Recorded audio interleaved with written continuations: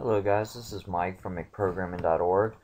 Uh, before we get into the specific parts of what a class is, I'm going to give you a quick overview. What a class is, is a blueprint from which each individual object can be created. So I have a project down here and we're going to create a class for it. First, um, well, let me call this person. We're going to call this a person class. So what this is supposed to do is the title should define what type of object it is because this will be the the object type later when we instantiate objects from it. So this is going to describe a person. And here I'm going to give it some instance variables. Private string name and let's just give it a private int ID number.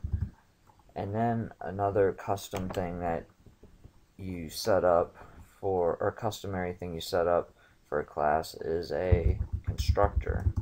And that pretty much initializes each instance of an object.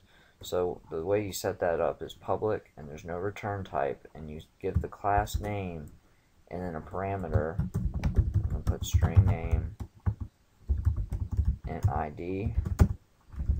Say this name equals name. And I'm rushing through this because I do explain this in a later video. So equals ID. And then we can set some getters and setters. So to do that real quick, I'm going to go to source, generate uh, getters and setters. And I want them for both. You can also get more specific. If you don't want like a setter ID, you can just click that, but I do want both of them, so you can click select all. Alright, there we go. So now we have get name method, a set name method, a get ID method, and a set ID method. And you could have other methods in here, but I'm just going to be quick on this video. Public string, to string, and what this does is when you call this method, it will return a string representation of your the instance of your object instead of printing out a memory location that it would have. So let's return um, say ID plus